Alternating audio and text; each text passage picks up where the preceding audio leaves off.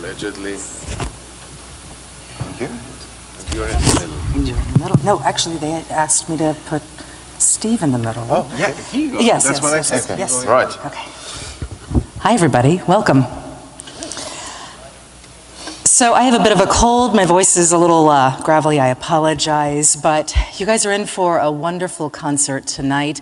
I'd like to introduce to you uh, Mr. Stephen Goss, who's the composer of the centerpiece uh, for tonight, the uh, concerto, the guitar concerto inspired by Isaac Albéniz. Good evening. And of course, our music director and conductor of our Oregon Symphony, Carlos Kalmar. Good evening. Hi. Now, um, Steve, this piece, Yeah. this concerto, you wrote about nine years ago, right? I did. I wrote it in 2009, in fact. Yeah. What were the circumstances surrounding it? Well, um, there's a guitarist called Xuefei Yang, a very fine virtuoso from China. Yes. And she was working with EMI on a recording of the Rodrigo guitar concerto, Yeah. the very famous guitar concerto. And I'd done a few projects with EMI and with Fei before. Mm.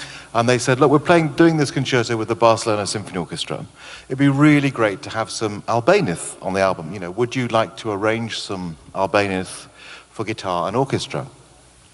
And then I got talking to Xu and talking to the producer, and then after a few conversations, I thought, wouldn't it be great if there was a big romantic concerto for guitar based on the music of Albéniz? It would be so wonderful. I mean, Albéniz is this amazing Spanish composer who wrote mostly piano music, but many other things too, but never a note of guitar music, although now his music is most known in arrangements for guitar. Um, so I just thought it'd be quite fun to have this imagined concerto for guitar in this, this wonderful late romantic style. And it's kind of I mean, paradoxical that we know him best today because of these arrangements, um, that he would recognize as his own, of course, but very different than, than the original works that, that he wrote. Yes, I mean, the concerto is based on piano music. It's all, uh, and a lot of it is from Iberia, which is a piece he wrote quite late in his life, has highly virtuosic piano stuff. So I've just taken the melodies from these late pieces and orchestrated them in the style that he used for orchestration, but also drawing on composers like Debussy. So it's got this sort of rich Spanish, French color. How did you choose which piano pieces? There are an awful lot of them. Yeah, that was the thing that took the longest time because you also had to find pieces that would fit together in a concerto. Mm-hmm, mm-hmm. And in this concerto, between the third and fourth movements, there's a long cadenza, about four minutes. And in it, you hear all the themes being mixed together and, and, and changed around.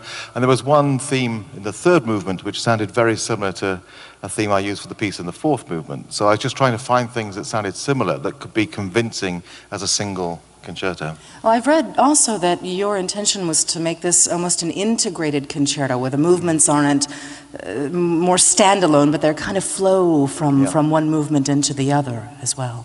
Yeah, absolutely. I, I sort of organized the, the scheme of all the different keys very carefully. Uh, and it takes you on a sort of, um, I suppose, an emotional and uh, uh, journey through sort of the full range of, of what Albéniz did in his piano music.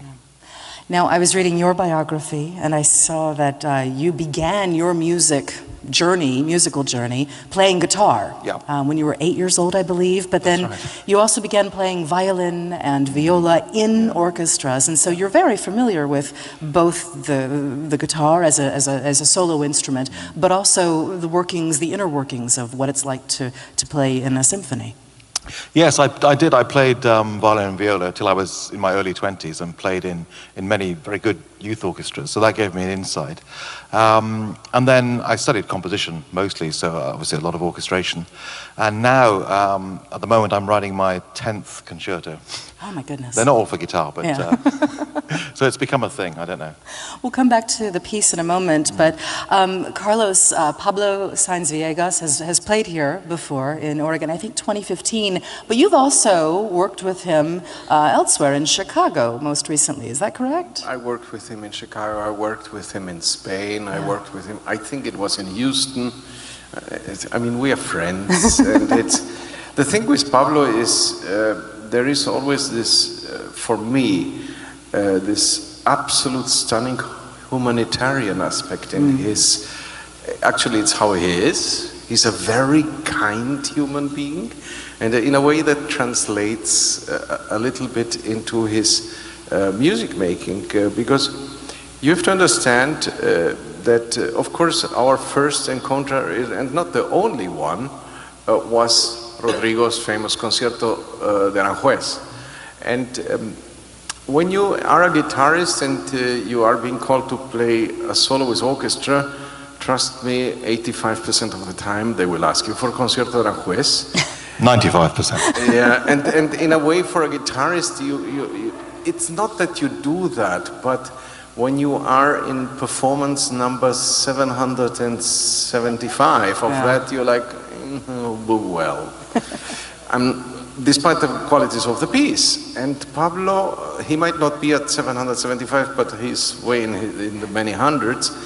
And it struck me how serious he is when on stage and how much he kind of looks for different colors that I actually have not heard. And that is also, to some extent, being translated in the way he plays Stephen's piece, because I hear uh, there are some things that he does that actually make me smile, just because, not, not because they are funny, but because they are, to me, so enjoyable. And also there are little things uh, in terms of knowledge of Spanish music in, the, in the last movement, where uh, all of a sudden um, this the, uh, Stephen's piece gets uh, in such a way that the orchestra again takes the absolute lead, and all the guitarist does is chords. He plays chords, and um, there is a kind of song underlying there, and the song is very from La Rioja, which produces, aside from uh, amazing wines, also great guitarists like Pablo Sainz Villegas. He's from there, and I asked him, so how do you do that? Do you do it with freedom? Do it without freedom? And he immediately said, "Oh, this is uh, this has to be with kind of heartfelt freedom, if you wish so." I mean, don't. What he was saying is, don't be so cold-blooded. Just go. And all in all, just talking about the interest, one thing that is absolutely stunning in Stephen's piece is something that uh, essentially normally wouldn't work. A guitar is a wonderful instrument, but very soft. Uh, so don't put it against a big orchestra, because, sorry, you're not going to hear it.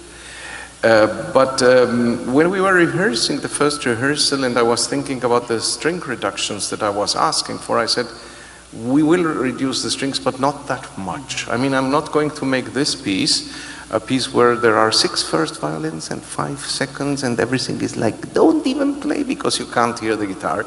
It's very smartly kind of written so that you have on one side the soloist as the soloist, and on the other side you have a rich palette of colors in an orchestra, and sometimes we just go for it. It's stunning. We'll enjoy it. I'm really excited about this. Um, composers have been writing new works based on older works for hundreds and hundreds of years. When you tackle a piece like this, are you concerned with how you think he would have envisioned it himself? Or are you taking the pieces and, and obviously making them into something new and imbuing your style into it? I guess I'm asking, how concerned are you with, with his intention, with what you think his intention might have been? Uh, that's a very good question. I mean, in, in this piece, the whole intention was to try and make it sound totally like Albéniz hmm. and not like me at all. So my intention was to, to have it sound so that someone coming in could say, oh, I didn't know Albéniz wrote a guitar concerto. Wow. That would be my ultimate aim in, in, with this particular piece. Yeah.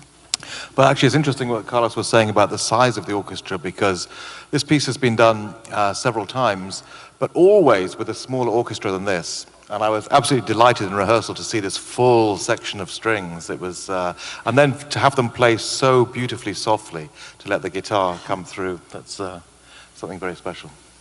Absolutely. Now, do we, uh, I, I know that we are recording, by the way, tonight for a future broadcast, but I, you'd mentioned, obviously, the guitar is a very soft instrument. Um, is there any kind of, of uh, uh, do we push it uh, acoustically at all to try to make the guitar um, heard above the orchestra? Not really, because Pablo doesn't like that. Got it, Pablo, okay. Pablo once thinks, just let me play it and uh, you guys figure out how to do with how to deal with me. Essentially, that's his position. And uh, since we have worked here uh, alone in Portland, this is, I think, the fourth time he's coming, uh, and we are talking about uh, probably the last six years only. That's a stunning run for a soloist. But we all love Pablo, and so the the orchestra is like here you have it. We get soft if we want, and we, it's like uh, we put a really wonderful carpet underneath him, but we go really bold when uh, the piece requires it.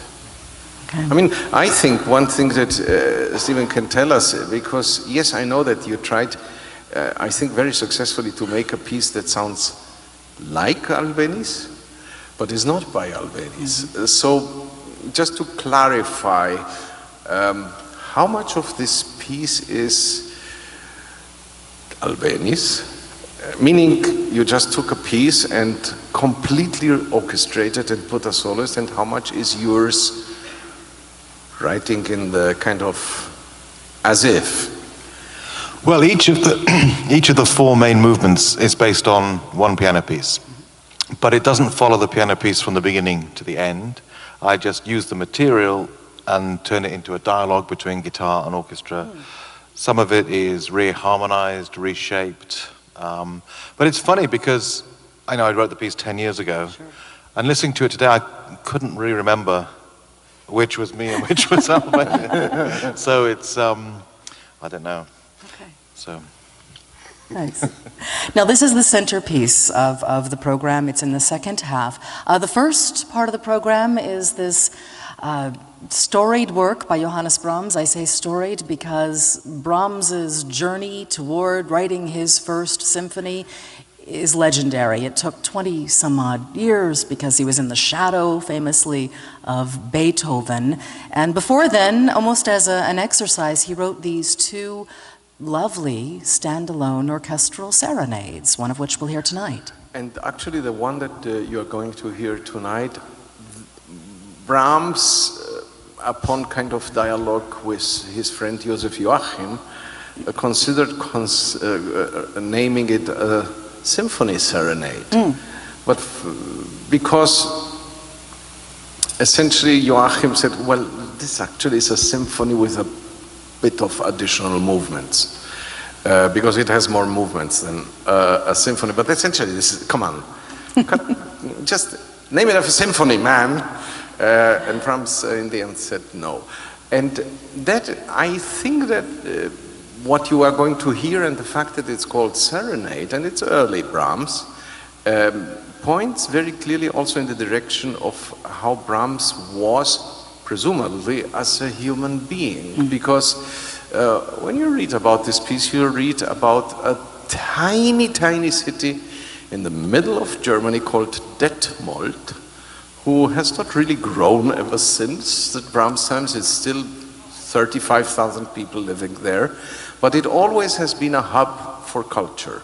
One of the most famous um, conservatories of music is still in Detmold, of all places, which is in the middle of kind of nowhere, uh, at least in German terms. Uh, and um, Brahms with the help of Clara Schumann, who recommended got a position there and was teaching piano, conducting a female chorus. And you learn that in the, those years he even had a very intense love affair uh, with a lady that essentially, as people say, he couldn't commit. It was very serious, but he couldn't make up his mind, and so that uh, because the Brahms was in a way sh- very shy and somehow thin-skinned, and then uh, two things happened.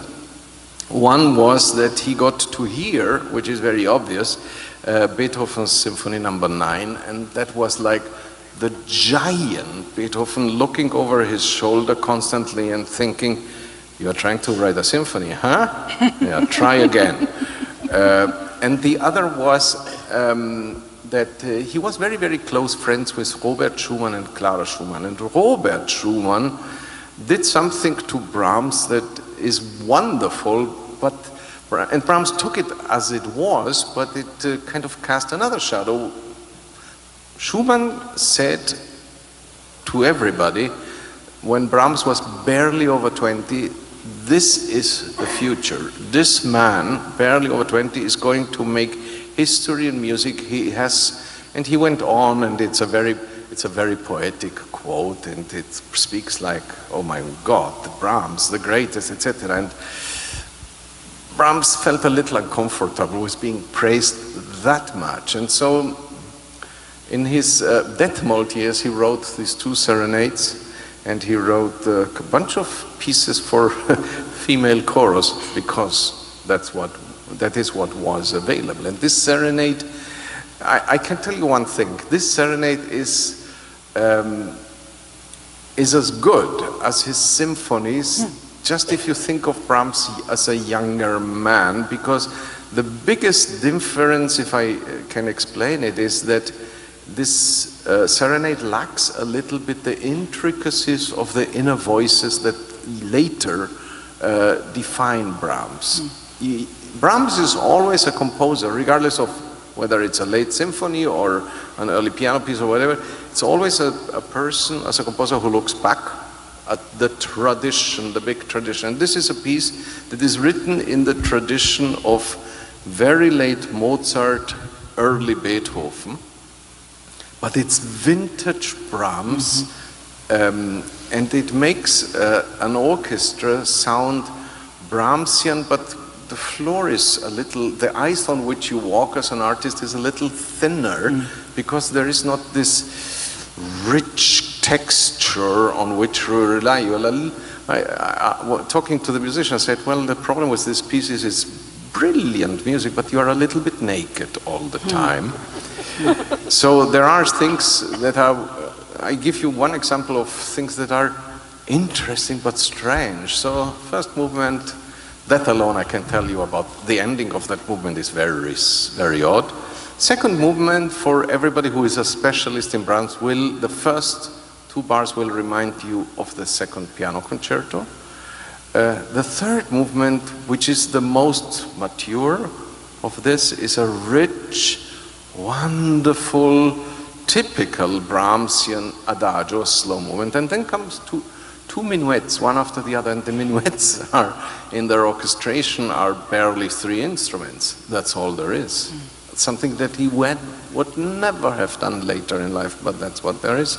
Then we have another scherzo and then the finale, and we end with big glory. It's a fin. I always loved this serenade very mm. much.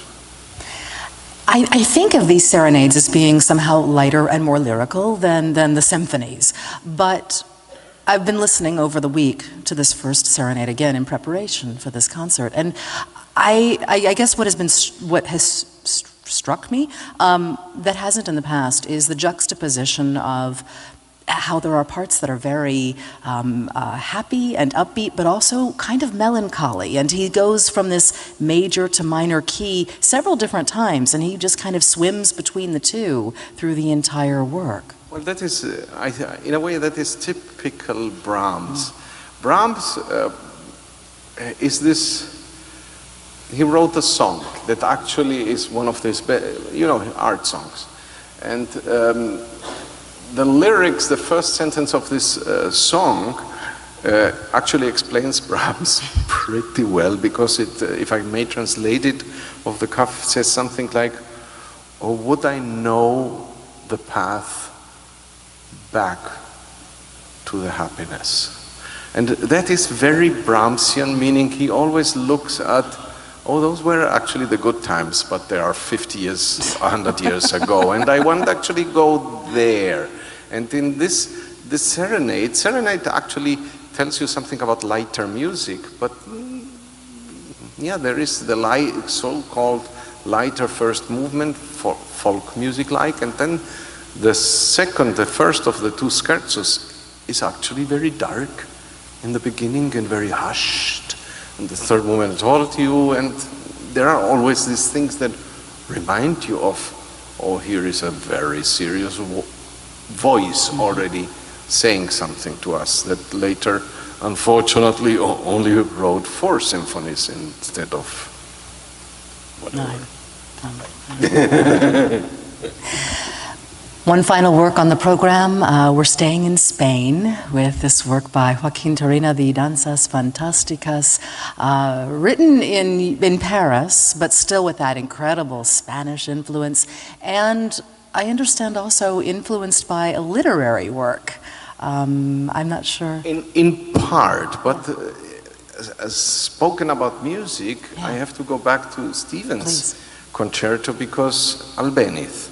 So, in a very, in a nutshell, uh, Joaquin Turina was, uh, when he was a, a kid, showed tremendous talent.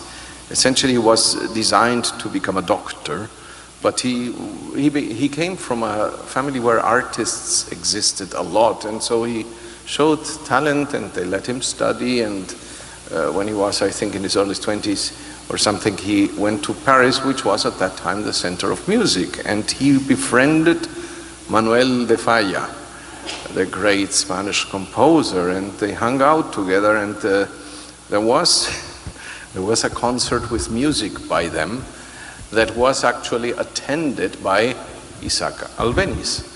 And Albeniz took both younger colleagues for a drink.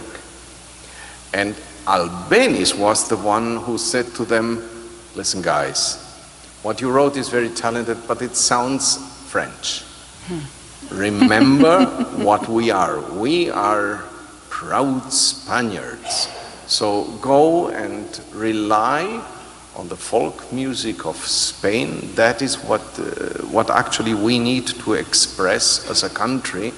Uh, there has to be something like nationalistic flavor, if you will. So Albeniz, again, influenced those two, and out of this came the Danzas uh, Fantásticas, which admittedly is a, it's a very Spanish piece, Yes. But the orchestration is still French. I mean, it's still this, this the, the, the thing that, uh, I mean, the, the interesting point, and uh, you live in London? Yes. So the interesting point is, of course, I don't know how much Spanish music you guys hear in London, and when it, especially when it comes to orchestra. But here in the in, in the United States, what do we hear? The suite from the three-cornered hat, the concierto de Aranjuez, the bolero, which unfortunately is by a French composer, and that's the end of it. I don't know. Is it different in in Britain? Uh, not particularly. I mean, you do get other things, uh, other pieces by Falla. Sometimes the harpsichord concerto is done. Um, Nobody does that here. Yeah, no. Um, but no, not a great deal. And of course, the, the most uh, well known Spanish music is, as you say, by French composers. yeah, it's, it's- so the, the interesting thing is that the Danzas Fantásticas by Joaquin Turina is phenomenal music. It's really good. It's three movements. It's all in all maybe 16 and a half minutes of, of action. And um, one wonders what happened. Why is it, maybe it's the name, maybe we don't associate um, uh, Spaniards with, uh, let's say, serious composition. Because what, what Turina does is actually he elevates the music of Spain, meaning of the country side, to something that is actually stunning. So you will hear in the first movement a jota, it's one of the famous dances, uh, just done so well. And what I, what gets me every time uh, is the atmos- how atmospheric the music is, because it's not. You think about okay, flamenco, vamos, ole, and it's not. th- th- Yeah, that happens too. But don't worry, there is more stuff to it. And uh, he takes in the second movement a dance from the Basque country that is in a very strange meter, 5-8.